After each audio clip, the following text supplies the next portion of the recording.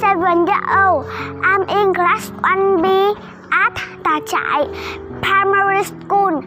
I like reading stories, So today I will tell you the story A Good Home.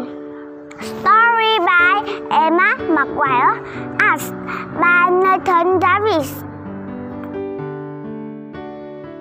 The eBay house. It's dark.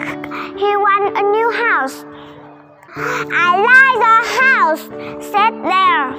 Way too small for you, said Rabbit.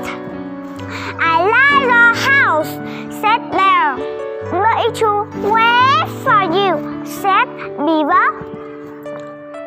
I like the house, said Bear. Way too high for you, said Owl. We know a good home for you, said Rabbit. Rabbit, tree house. Look, this house is not small, not wet, and not high, said Beaver. But it does, said Bear. Yes, but you can sleep, said Frank. Now Bear knows he has a good home.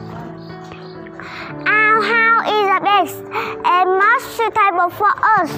We shouldn't ask for things that are not right for us. That's the end of my story. Thank you for listening.